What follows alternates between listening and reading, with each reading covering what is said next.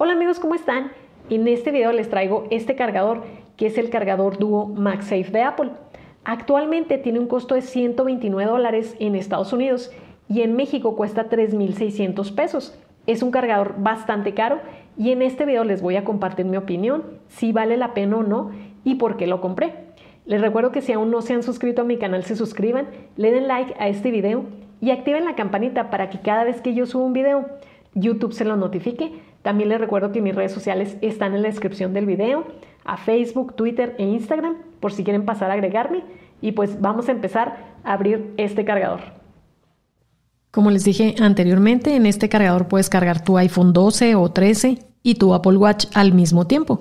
También funciona con iPhone más viejos o con cualquier otro dispositivo habilitado para QI. Pero ¿vale la pena realmente pagar este precio por el cargador Duo? Bueno, eso lo vamos a platicar a continuación. Bueno, en la parte de aquí atrás de la caja nos dice que se recomienda un cargador de 20 watts y aquí nos muestra la manera de utilizar el cargador.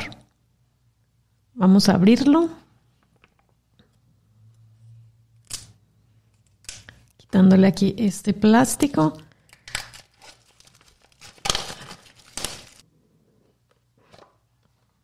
Aquí lo primero que vemos es el cargador Duo MagSafe tenemos el MagSafe del lado izquierdo y el cargador del Apple Watch del lado derecho. Vamos a sacarlo de la caja.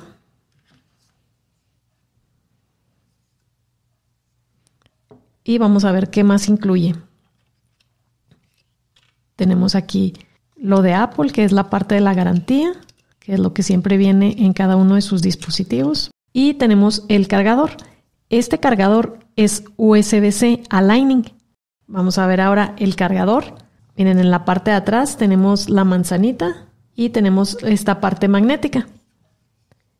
Y en la parte de enfrente, de este lado, está el cargador para el Apple Watch y del lado izquierdo el cargador para el iPhone. Vamos a quitarle el plástico protector aquí al cargador del Apple Watch. Y vamos a subirlo un poco para quitárselo del lado de atrás. Y vamos a hacer ahora lo mismo con el del iPhone. Bueno, de inicio lo que más me gusta de este cargador es que lo puedes doblar y es muy práctico llevarlo de viaje porque no ocupa tanto espacio.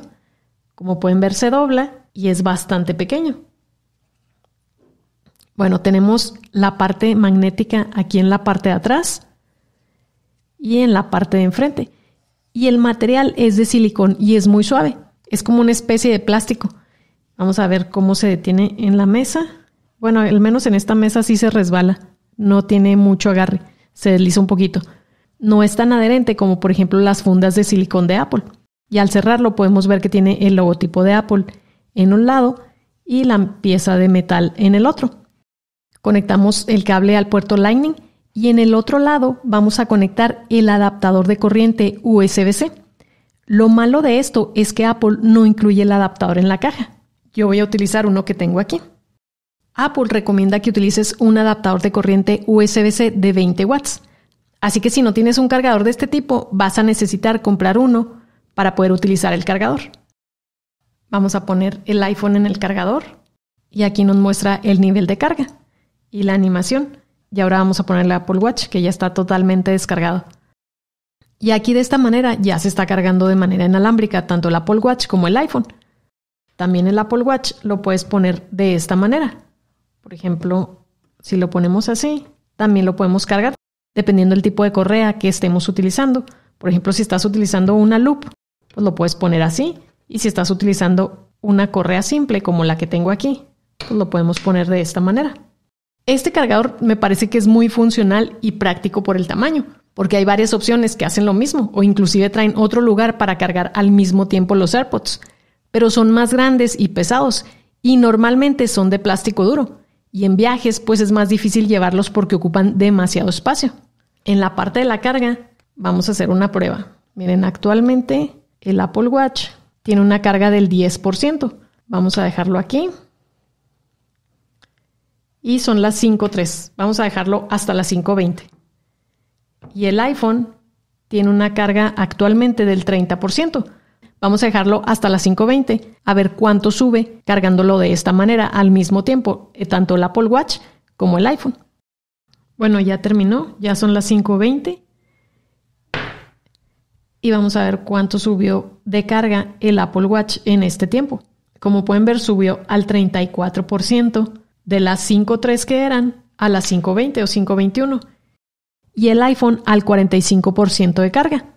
La velocidad de carga no es la mejor ni la más rápida, pero para mí es una muy buena opción para llevarlo de viaje y cargarlo por la noche. Les voy a mostrar el cargador que yo normalmente utilizo. Es un cargador que aquí pongo el iPhone, aquí el Apple Watch y acá puedo poner los AirPods. Les voy a mostrar.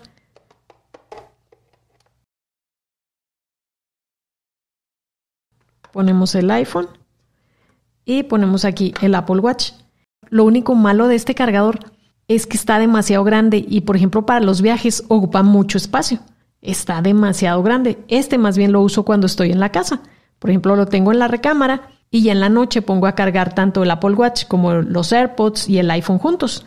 Este cargador por eso me llamó mucho la atención porque ocupa muy poco espacio. Lo único malo es que el otro cargador que está demasiado grande, pues sí tiene el espacio para cargar los AirPods. Al mismo tiempo puedes cargar el iPhone, el Apple Watch y los AirPods.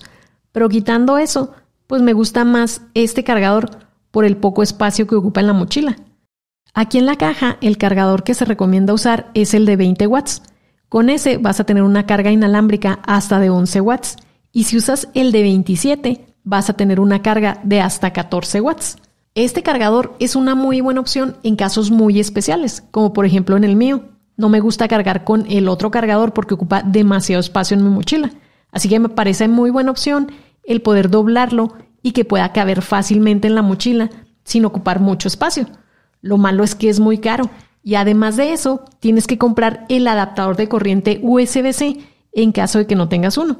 Yo no tengo problema porque ya tengo uno, pero no todos cuentan con el adaptador de corriente. Otro punto también para tomar en cuenta es que a diferencia de otros cargadores, solamente carga dos dispositivos a la vez. Actualmente hay otras opciones donde puedes cargar los tres dispositivos al mismo tiempo, como este cargador bastante económico que tengo aquí.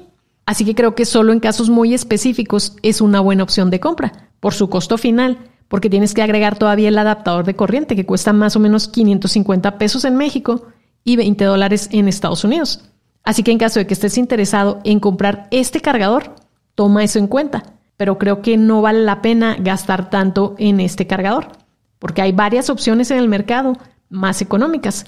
Además, la mayoría de la gente los cargadores los usa en su casa por la noche, por ejemplo, así que no hay problema por el espacio que ocupen.